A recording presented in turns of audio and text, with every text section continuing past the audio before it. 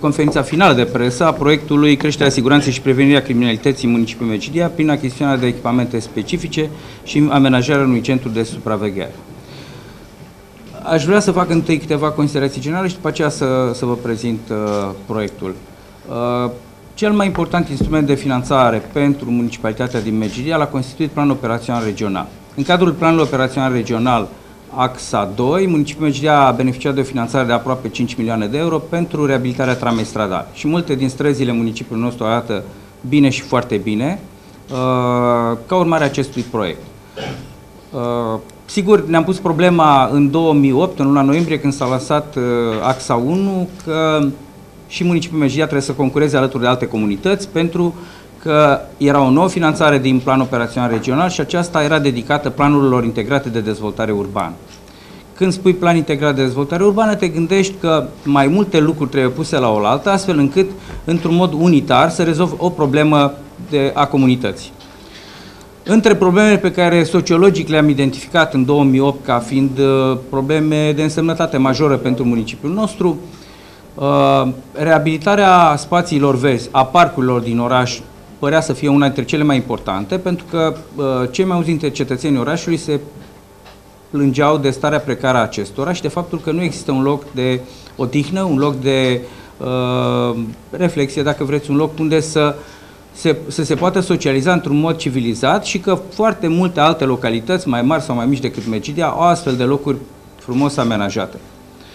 Alături de proiectul pentru reabilitarea spațiilor verzi din municipiu și a parcurilor din municipiul Megidia, uh, ne-am gândit la un proiect pentru reabilitarea podului rutier de peste canal, de realizarea unor străzi și a unor parcări rezidențiale și, nu în ultimul rând, ne-am gândit la, la siguranța populației. De altfel, într-un sondaj de opinie de la începutul anului 2008, uh, siguranța cetățeanului era pe unul din primele trei locuri, întrucât cu un an înainte avusese loc în oraș un incident tare neplăcut. Persoane înarmate au tras focuri de armă în centrul orașului și a fost un incident armat care s-a soldat cu spargere de vitrine și cu risc pentru persoanele care se aflau într-un într local public din Megidia. Uh, spaima pe care au tras-o megidienii ca urmare a acelui incident uh, ne-a determinat să gândim și un proiect de siguranță a siguranța cetățenilor, Uh, acest proiect fiind un proiect integrat, a fost gândit să acopere zonele vulnerabile din oraș, zonele care au, aveau probleme din punct de vedere al delicvenței, din punct de vedere al criminalității și, nu în ultimul rând, din punct de vedere al siguranței rutiere.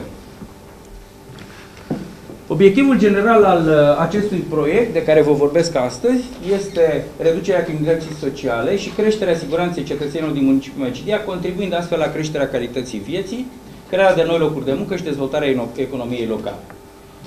Obiectivul specific al proiectului reprezintă implementarea unui sistem de prevenire a actelor antisociale în municipiul Mecidia pe parcursul a 21 de luni, prin achiziționarea unui sistem de supraveghere, instalarea sistemului de supraveghere necesar pentru creșterea siguranței și amenajarea centrului de supraveghere. Toate aceste obiective au uh, fost deja implementate și astăzi ne vom afla în fața unui sistem care funcționează și de aceea încă de la începutul acestei conferințe de presă, după încheierea conferinței de presă, vă invit la sediul Poliției Locale pentru a vedea centrul de comandă și modul în care funcționează acest sistem în prezent în municipiul Măcinei. El a fost testat și putem spune că în acest moment are un randament de 100%.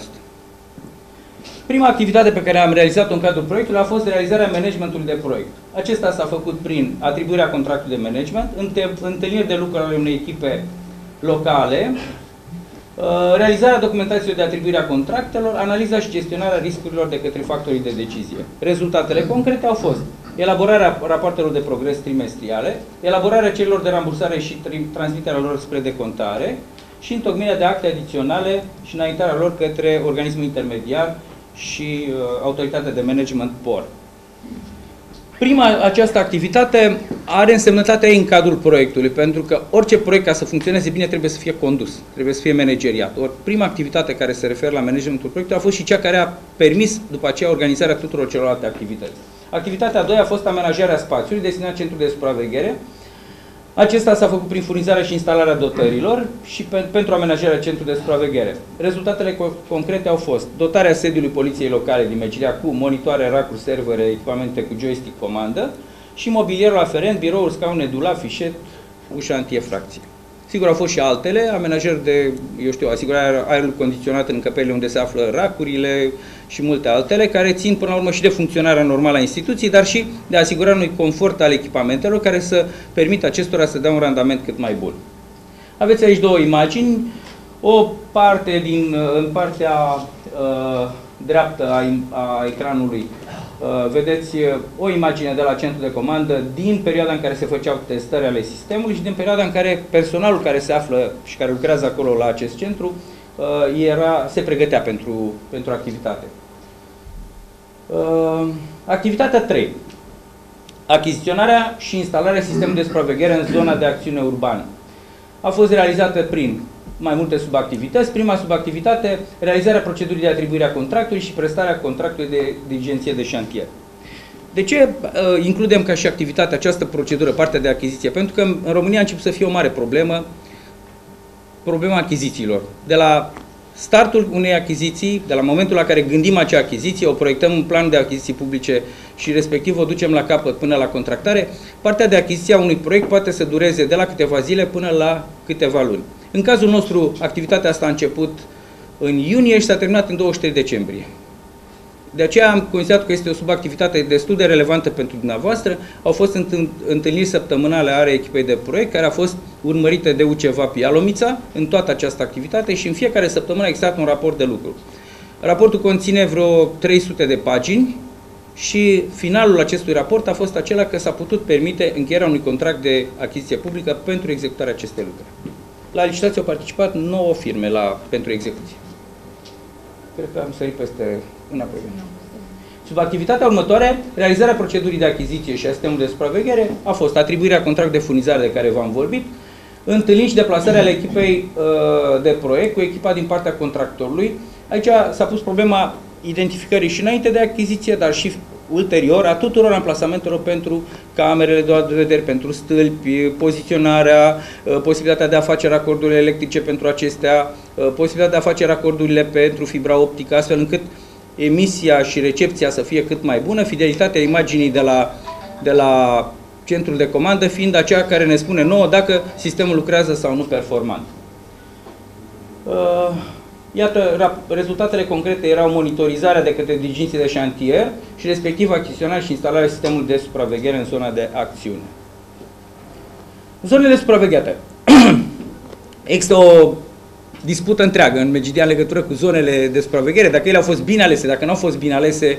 Sigur că atunci când scrii un proiect, ai în vedere o situație care se întâmplă la un anumit moment Uh, se bazează pe statistici pe care poliția ni le-a furnizat și pentru asta mulțumesc Poliției Naționale, Jandarmeriei, dar și Poliției Locale pentru statisticile pe care le-au dat astfel încât să identificăm zonele de risc, zonele cu probleme deosebite din punct de vedere al criminalității, infracționalității sau delicvenței și pe baza acestor statistici am identificat principalele locuri pe care le putem supraveghea. Uh, dar sistemul am gândit în de așa manieră încât el să poată fi upgradat și de acum încolo să putem pune multe alte camere pe domeniul public și care să fie legat prin intermediul același sistem la centrul de uh, comandă. Uh, au fost selectate prin studiu oportunitate, uh, de asemenea, spațiile publice au fost identificate ca să aibă un grad ridicat uh, de producere a infracțiunilor. Nu ne dorim acest lucru, dar el există și atunci trebuie să prevenim, uh, să, să scădem acest grad de producere a infracțiunilor. În general au fost uh, luate uh, în calcul parcurile publice, piețele, intersecțiile de străzi, podul rutier, școlile și liceele, bisericile, cimitirul, cimitirele, spitalul, primăria, sediul ADP și sala sporturilor. În aceste zone au fost montați 47 de stâlpi pe care au fost instalat sistemul de supraveghere. Această lucrare reprezintă cheltuială neeligibilă. Vorbim de stâlpi, stâlpii au fost instalați pe cheltuiala primăriei. Sistemul de supraveghere este format din antene wireless cu bandă dublă, video splitter, camere video, obiective varifocale auto-iris, camere video speeddom, surse tip și echipamente wireless și switch-uri. Aici aveți o harta a locațiilor din zona de nord, Acolo unde vedeți uh, aceste cerculețe albastre, aceste, acelea sunt locațiile din zona de nord. După cum vedeți, ele sunt în apropierea școlilor din zona de nord și a liceului, sunt de asemenea pe principala arteră de circulație de, din nord, strada Independenței, în apropierea podului rutier și de asemenea pe strada Silozului și în zonele foarte vulnerabile și aici vorbim atât de strada Silozului, zona Bareci și Siloz și de asemenea oborul de animale. Practic, un mijloc de transport care intră Megidia din zona de nord, fie pe strada Independ Silozului, fie pe strada Independenței, poate fi identificat de la intrarea în oraș și o să vedeți când privim la zona de sud că poate fi identificat și la ieșirea din oraș, astfel încât și pentru autovehicule care sunt în tranzit sau care sunt supuse acestei monitorizări, putem să dăm uh, informația respectivă în timp util. Aceasta este zona sud, la fel punctele albastre reprezintă locurile unde s-au amplasat uh, aceste camere. Am mai ținut cont de un lucru și poate, poate că la acest moment pare să fie o slăbiciune a sistemului, anume că în zona est, uh, în zona aceasta, zona normerilor, zona de dezvoltare din uh, Mamut Bay, nu există astfel de camere, uh, aceasta și fiindcă nu există soluție de transmitere pe fibra optică a informației și de asemenea mai există probleme legătură cu rețeaua electrică. Aici aveți câteva locații, așa cum se regăsesc ele pe domeniul public. Uh, unele sunt și chiar din momentul instalării camerelor sau sistemului. Uh, am întâmpinat ceva greutăți în sensul că unele locații nu au putut să țină cont la momentul la care s-au proiectat că există vegetație de jur împrejur sau pe o direcție există vegetație și acolo s-a făcut fasonarea împreună cu societatea locală de spații verzi. Activitatea 4. Publicitatea și informarea. Orice lucru, dacă se face, dacă nu este cunoscut de public, întâmpină fie rezistență, fie uh, o, o părere negativă și atunci uh, media locală, televiziunile locale, uh, eu știu, uh, ziarele din județul Constanța au prezentat etape și stadii ale acestui proiect, iar prin intermediul unei societăți comerciale din Megidia s-a făcut uh, publicitatea și informarea publicului. De altfel, această societate este și cea care astăzi a organizat conferința noastră de presă. Deci am avut atribuirea contractului de publicitate, întâlnirea de lucru ale echipei de proiect cu echipa prestatorului și avizarea tuturor materialelor realizate. Toate materialele realizate în cadrul acestui proiect sunt conforme și au fost avizate de organismul intermediar și de ADR, de, ADR, de fapt. Rezultatele concrete. Au fost realizate 1000 de piante, afișe, inserții spot radio, inserții ziare, mape de prezentare, autocolante, benere, panouri temporare și panouri per, uh, permanente. Și de asemenea s-a înființat o pagină web www.siguranțamecidia.com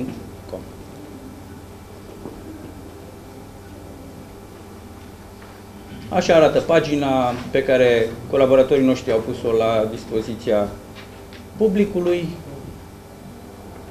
Activitatea 5 înseamnă monitorizarea și evaluarea proiectului. Uh, proiectul a fost, uh, această activitate a fost realizată prin atribuirea contractului de audit, și prin monitorizare de, de către fiecare membru al echipei de proiect, conform atribuțiilor sale.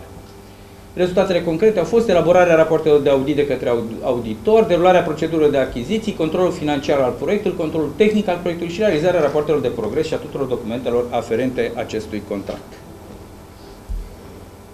Grație POR de care vă vorbeam, Plan Operațional Regional, Program 2007-2013, axa prioritară 1, sprijinirea dezvoltării durabile a a orașelor pol urban de creștere, domeniul major de intervenție, planul integrate de dezvoltare urbană, sub domeniul centre urbane.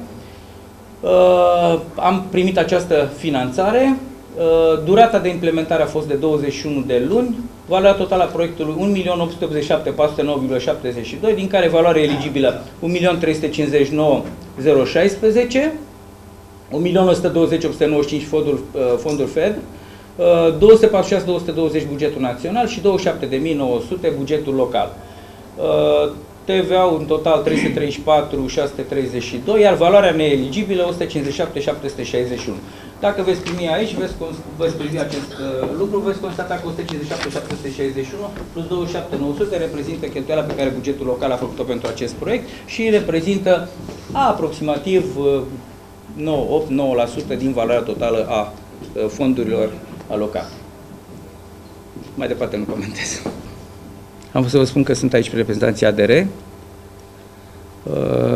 Agenția de Dezvoltare Regională, pentru cei care nu știu. Uh, de asemenea, sunt membrii echipei de proiect, conducerea primăriei și, bineînțeles, colaboratorii noștri de la Poliția Locală, Poliția Națională și Jandarmerie. reprezentantul constructorului. Vă rugăm, presa eventual întrebări. Dacă nu sunt întrebări, puteți spune întrebările și la fața locului. Vom merge, ne vom deplasa la centrul de, la dispecear, la centrul de comandă și acolo lucrurile sunt chiar concrete. Aici a fost uh, explicația de la tablă, ca să zic așa, dar acolo veți vedea lucrurile concret cum funcționează. De asemenea, acolo sunt uh, atât angajații care fac uh, munca asta de monitorizare, cât și cei care lucrează în dispecerat. Practic, uh, pentru un, un subiect, proiectantul uh, uh acestui sistem, uh, practic, un lucru care este observat, o, o chestie, o irregularitate care este observată pe ecran, este transmisă de către omul de la monitorizare, dispecerul care se află în aceeași încăpere, dispecerul face imediat legătura telefonică uh, cu uh, echipajul de poliție locală care are în uh, coordonare o zonă, în, în monitorizare o zonă, iar echipajul se deplasează în cel mai scurt timp la locul faptei și acolo face constatarea. Acest sistem ne permite să intervenim uh, destul de prompt, destul de rapid, uh, Uh, timpul de intervenție socotit de noi este între 5 și 7 minute și va constitui pentru noi uh, un uh, criteriu de performanță atât pentru echipele din teren cât și pentru monitorizare și respectiv dispecerat, ca acest timp să fie cât mai scurt. Vom, în funcție de, de rodajul pe care l-au persoanele, pentru că fiind la început este destul de, de greu să poată să observe din prima un, o irregularitate. Dar uh, faptul că se transmite în timp real, că uh, imaginea este foarte clară și că se pot da detalii despre subiectul respectiv, permite uh, comunicarea rapidă cu dispeceratul și respectiv cu echipele de intervenție. Noi sperăm ca prin acest mod de intervenție să monitorizăm foarte bine domeniul public, să stopăm elanul infractorilor, să diminuăm faptele antisociale uh, irregularității legate de circulație, de uh, comportamentul unora dintre seminii noștri, să intervenim prompt și să fim eficienți în raport cu, cu domeniul public și cetățenii de pe domeniul public, uh, iar sentimentul pe care să-l oferim cetățenilor ca urmare a aplicării acestui proiect să fie acela de siguranță civică.